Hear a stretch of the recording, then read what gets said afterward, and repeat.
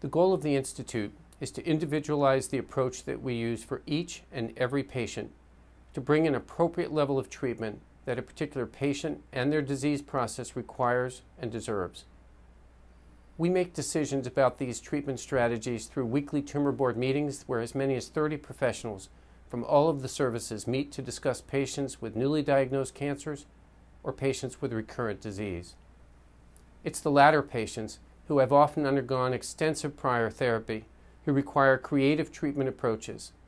These approaches often require sophisticated surgery to resect the recurrent disease and to reconstruct with healthy, vascularized tissue transferred using microvascular techniques.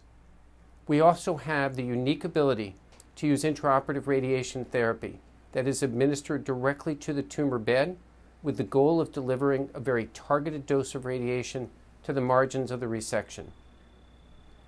The use of radiation during surgery allows us to retreat areas of the head and neck that have previously received therapeutic doses. Postoperative radiation with chemotherapy may be applied in select circumstances. The ability to deliver this complex array of therapies requires a highly coordinated and experienced team of physicians with an essential support staff. Together, that leads to a high level of patient safety and favorable outcomes.